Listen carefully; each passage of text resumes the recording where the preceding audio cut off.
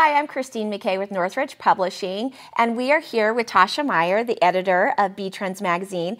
And Tasha, we are want to share with our viewers a sneak peek into February's issue. It's always fun to have the issue come out and bring these designs and look at the magazine and share some of our, our favorite designs that we've featured. Well, I am just loving all of the beautiful colors that you picked, and I'm kind of I'm kind of seeing a little bit of a theme here. I'm seeing a lot of purples and lavenders. It's February, it's getting towards the end of winter. It's fun for the season of romance to have a little bit of pink or purple um, and start getting in the mood for that.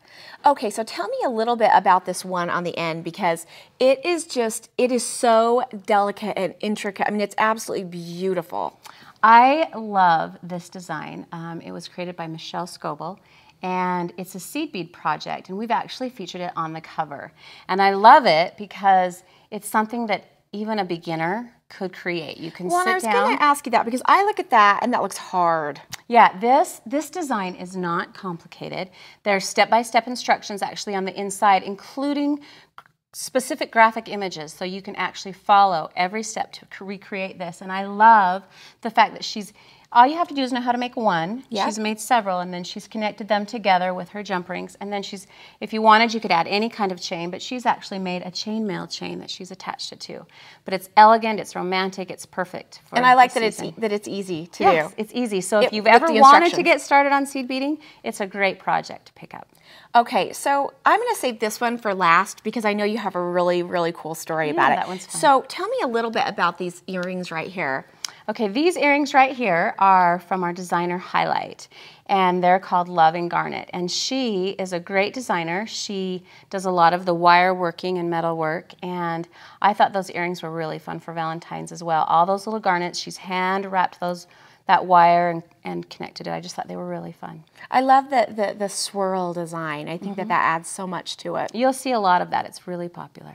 Okay, so you know me, I'm always drawn to the kind of the more earthy pieces, and I love the mixture of the, of the textiles with the, the fabric and the beads. Tell me a little bit about this one. Yeah, you and I both really seem to love yeah. like the earthy. That's kind of my thing. And I love mixed media projects. I love, they've got this silk ribbon that she's connected with these little ribbon ends. And really, it's a simple project. It's in our fashion favorites section, and it's easy to make, um, but it wouldn't take very long. I love the colors of these beads and the chain. All she's done is use little head pins and wrap them onto the chain and use a little bit of silk ribbon and the toggle clasps. So it's it's a simple project, but it's it's Beautiful. I love that. All right, so tell me about this amazing piece right here, which I think the piece is beautiful, but I think the story behind it is even more meaningful. Yes, I love this. One of the, our regular designers that contributes, um, Shannon Schmid, um, she started what you'd call a round robin, and there's been round robins around forever, but she created a round robin with jewelry, and what she did is there are several women that became friends, you know, online through a beading blog or online site, and they created this round robin. There's groups of six that you start with. So she had two different groups, and she headed up one, and another designer headed up another, and they each created one six, uh, six inch section of this necklace. Then they took the section and a journal where they put information, information about themselves or their family or what they love or their style that they love, and then they'd mail that to the next person on that team.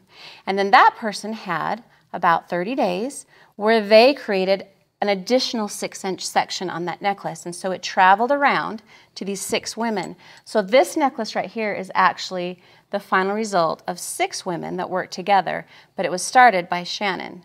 And so I love that. I think that is so amazing and I I love the idea of the pass along journal that goes with it because as you and I often talk about, you know, because jewelry is it's such a personal kind of item that we wear, I love when there's stories behind the beads or the little pieces, the little one of a kinds. Oh, it's amazing. And we have we have in our jewel school it talks all about how you could start your own round robin and, and have a similar experience. These women became really great friends.